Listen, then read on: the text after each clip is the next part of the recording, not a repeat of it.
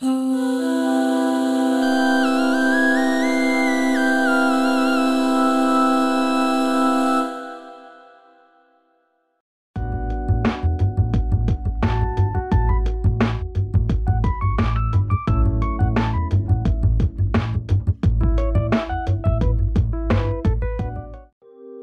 キッシュエアラインズが2023年12月12日から大阪エスタンブール線の運行を再開しました。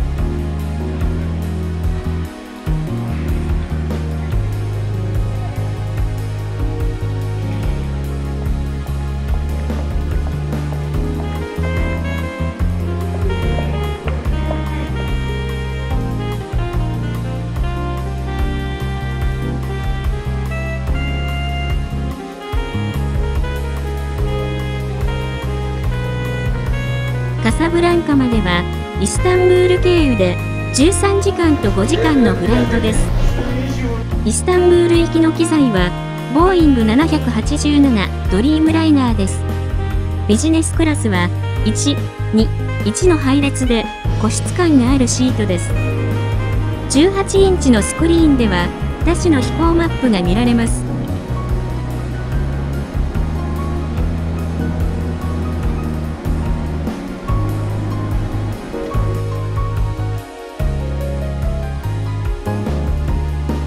メニティポーチは、フェラガモのおしゃれなデザインです。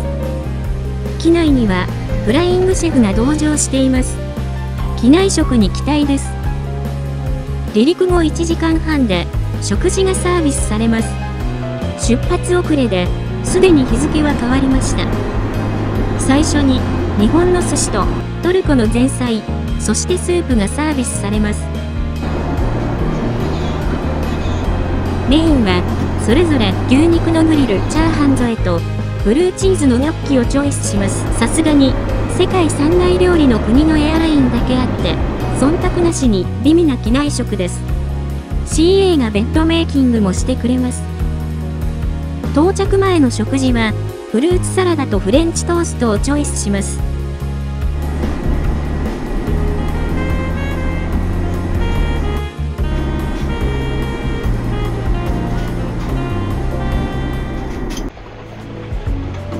スタンブールでの乗り継ぎ時間は5時間、ラウンジで過ごします。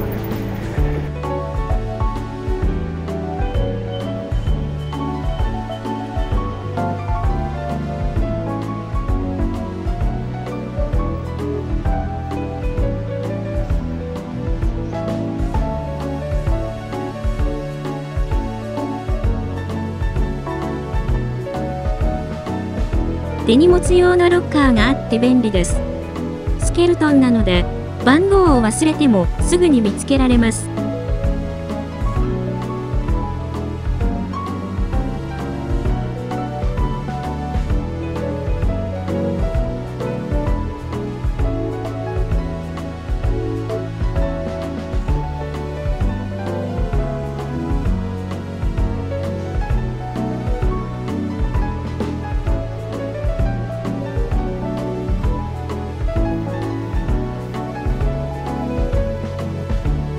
評判通りの広いラウンジですが、ドバイ空港のラウンジに比べると、それほど広くは感じません。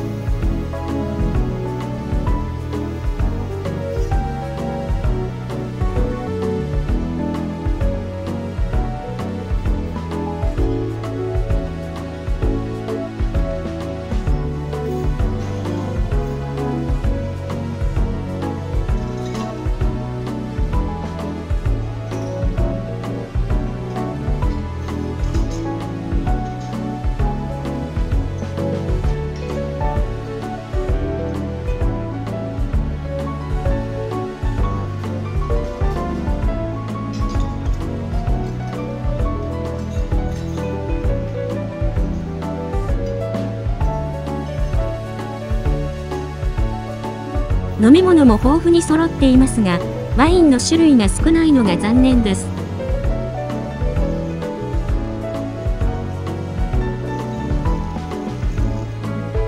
トルコはチャイの産地でもあります。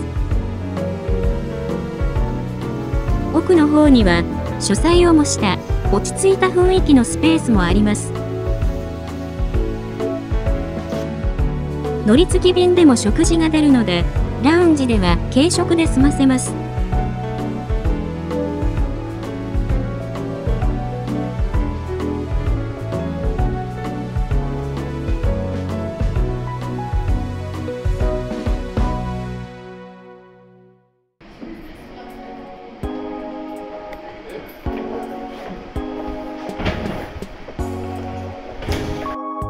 カサブランカ行きの機材は、ボーイング777です。ビジネスクラスは2、3、2の配列。ファーストクラスがないので、窓3つ分の広さです。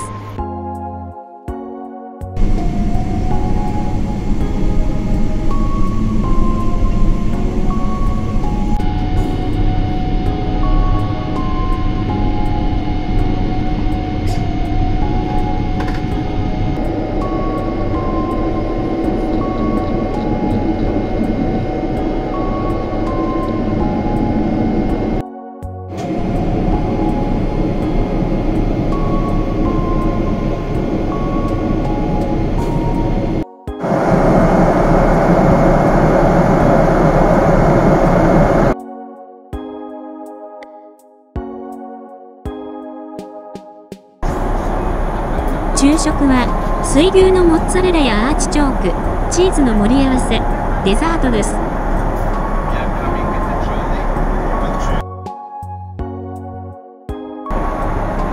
メインはラムの煮込みをチョイスします。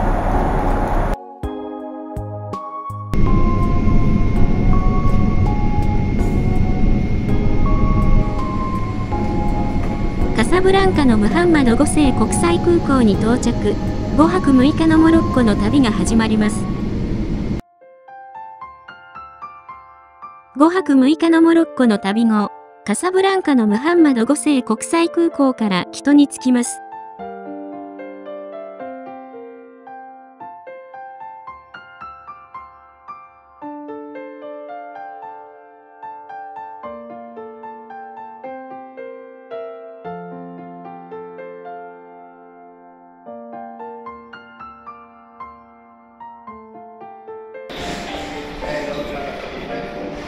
帰りのイスタンブール行きの機材は、エアバス A330 です。ビジネスクラスは、2、2、2の配列です。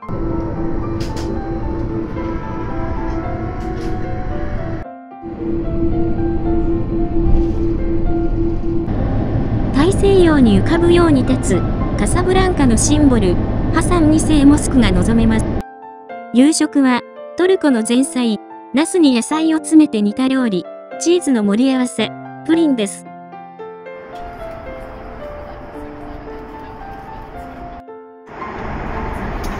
メインは、シーフードのグリルと、牛肉の煮込み料理をチョイスします。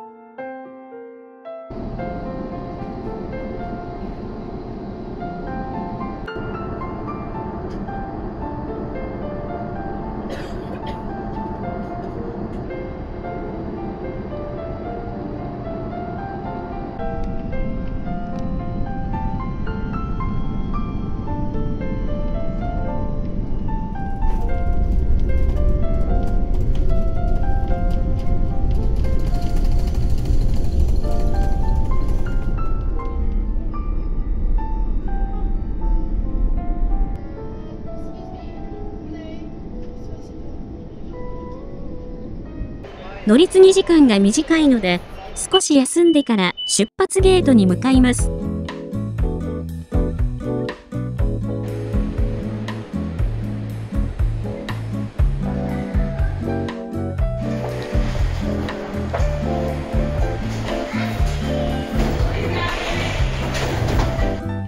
帰りの大阪行きの機材もドリームライナーです。窓からの景色を楽しみたい人は、偶数席をおすすめします。アメニティポーチは、行き帰り異なるデザインです。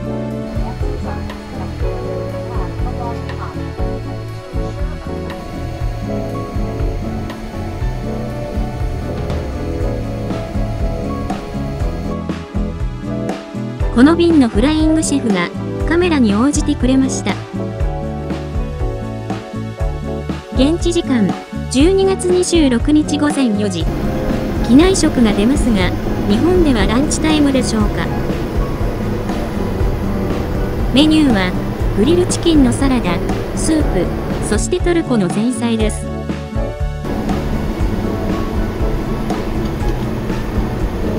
メインは、エビのグリルパスタ添えと、チキンのグリルピラフ添えをチョイスします。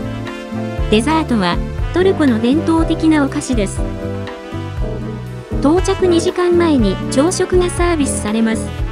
いちごのスムージーや新鮮なトルコの素材を生かした料理です。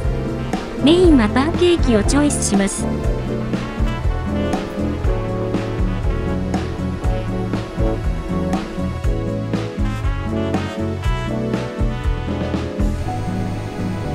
本州と淡路島を結ぶ明石海峡大橋が見渡せます。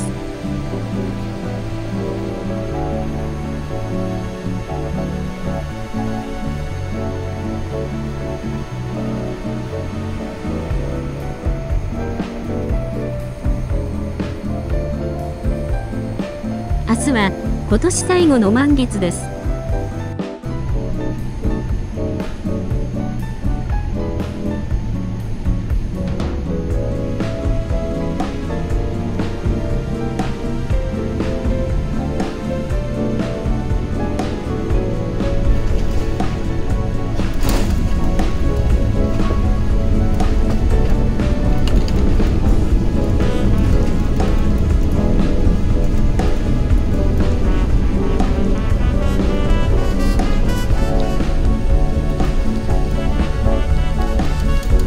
予定より1時間ほど早く関西国際空港に到着しました。